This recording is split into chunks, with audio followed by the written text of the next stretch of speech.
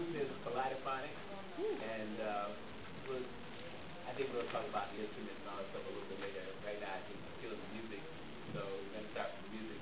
And this first song is uh,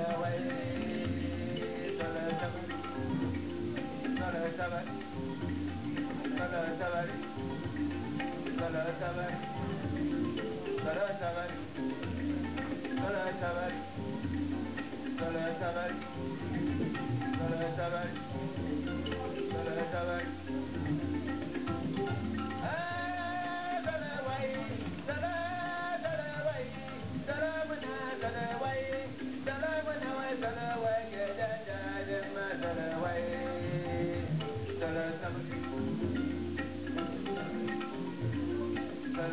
you.